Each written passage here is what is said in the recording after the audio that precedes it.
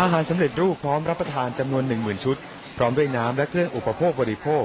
ถูกทยอยลำเลียงขึ้นเรือปฏิบัติการพิเศษ จากหน่วยบัญชาการสงครามพิเศษทางเรือ กองเรือยุทธการกองทัพเรือ เพื่อส่งให้กับผู้ประสบอุทกภัยจังหวัดพระนครศรีอยุธยาปลายทางของการช่วยเหลือในครั้งนี้แบ่งเป็น 2 เส้นทาง คือทางบก พื้นที่อำเภอบางปะหัน และทางน้ำพื้นที่ตำบลวัดตูมอำเภอพระนครศรีอยุธยา ซึ่งเป็นพื้นที่น้ำท่วมสูง การสัญจรถูกตัดขาดเกือบทั้งหมด อุปสรรคที่ทำให้การช่วยเหลือเกิดความล่าช้าและไม่ทั่วถึง คือความแรงของกระแสน้ำในแม่น้ำป่าสัก และแม่น้ำเจ้าพระยาที่ไหลผ่านพื้นที่ เรือปฏิบัติการพิเศษสมรรถนะสูง สามารถกลับลำในที่แคบ จึงถูกนำมาใช้เพื่อให้การช่วยเหลือเป็นไปได้อย่างรวดเร็ว ถ้าไปด้วยเรือใหญ่เนี่ยจะไปไม่ได้ เนื่องจากติดสะพานนะครับ ก็จะต้องเอ่อถ่ายลงเรือเล็กนะครับ อันนี้ในระหว่างทางเนี่ยก็จะมีชาวบ้านที่เดือดร้อนเขาก็ร้องขอ เราก็ก็เป็นอุปสรรคว่าข้างหน้าเนี่ยเราจะต้องเอาไปให้ แต่ว่าเราก็ต้องออพยายามที่จะลดความกดดันโดยการมี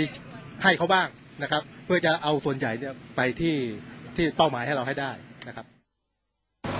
ตลอดระยะทาง 8 กิโลเมตร ซึ่งเป็นที่ตั้งของจุดหมายกำลังพลจากกองทัพเรือต้องนำเรือยางยุทธวิธีจำนวน 8ลำ มาขนถ่ายถุงยางชีพ รวมถึงนำน้ำและอาหารเกาะกลุ่มล่องเรือและไปตามถนนชุมชน ที่ปัจจุบันจมอยู่ใต้กระแสน้ำป้องกันชาวบ้านในเส้นทาง ผ่านดักขวางลำเรือ เพื่อขอแบ่งถุงยางชีพ เช่นที่เคยเกิดขึ้น ซึ่งทำให้ชาวบ้านในพื้นที่ห่างไกล ขาดโอกาสที่จะได้รับความช่วยเหลือ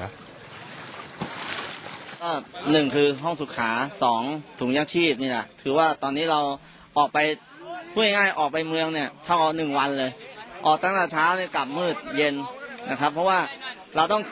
ขึ้นรถจากนี่ไปต่อน้าโรงเรียนประตูชัยแล้วลงเรือไป ลงเรือไปแล้วขึ้นรถทหารต่อไปอีก มันมันหลายทอดใช้เวลานะครับขณะเดียวกันเครือเจริญโภคภัณฑ์นำโดยนายจรานเจรวนนท์ประธานกิติมศักดิ์เครือเจริญโภคภัณฑ์และพันธมิตร อาทิทรูวิชั่น สมาคมการลีลาดแห่งประเทศไทย ยังส่งมอบถุงยางชีพประกอบด้วยเครื่องอุปโภคบริโภคกว่า 1,000 ชุด พร้อมตั้งโรงประกอบอาหารแจกจ่ายอาหารช่วยเหลือผู้ประสบภัย ในจังหวัดพระนครศรีอยุธยา สุชินตราชื่นชีพ พร้อมด้วยเพื่อนในศูนย์อพยพช่วยเหลือผู้ประสบอุทกภัย ตรงข้ามศูนย์ราชการจังหวัดพระนครศรีอยุธยาเล่าว่าสาเหตุที่ต้องอพยพออกจากบ้าน เพราะไม่มั่นใจว่าระดับน้ำจะสูงขึ้นแค่ไหน ขณะเดียวกันยังมีเด็กเล็กและคนชรา จึงเกรงว่าจะไม่ปลอดภัย แต่หากน้ำเริ่มลดลงในระดับที่สามารถอยู่ได้ ก็จะทยอยกลับเข้าบ้านทันที เพราะเป็นห่วงทรัพย์สิน นอกจากนี้การเยียวยาภายหลังน้ำลดยังเป็นสิ่งจำเป็นอยากให้รัฐบาลช่วยเหลือ ก็เครียดนะ แต่ว่าพยายามทุกคนก็โดนกันหมดเนาะก็พยายามทำใจก็ว่าเราไม่ได้เป็นคนเดียว ก็เป็นกันทั้งประเทศอะเราเราก็ทำใจอะอยากให้หน่วยงานอ่าอยากให้หน่วยงานช่วยช่วยเหลือ ช่วยเหลือที่บ้านช่องที่เสียหายไปหลังน้ำลดแล้วอะไรเงี้ย ไม่ได้ฟ้าอะไรมาเลยฟ้าไม่ทันอขอให้เขาหนูไม่มีบ้านเลขที่อยากให้แบบทางรัฐน่ะ สงสารคนที่ไม่มีบ้านเลขที่บ้าง เพราะว่าเห็นได้ข่าวว่าเขาบอกว่าคนไหนมีบ้านเลขที่เขาก็จะช่วยเหลือตามบ้านเลขที่อย่างนี้หนูไม่มีบ้านเลขที่หนูปลูกเพิงอยู่หนูก็อยากให้เขามามาช่วยเหลือตรงนี้หนูบ้าง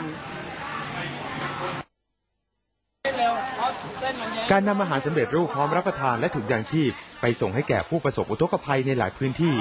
เป็นหนึ่งในความพยายามส่งมอบน้ำใจ ไปสู่เพื่อนร่วมชาติที่ประสบอุทกภัย โดยความร่วมมือของทุกภาคส่วน ทีมข่าวทีนเอ็นทเวนตี้โฟรายงาน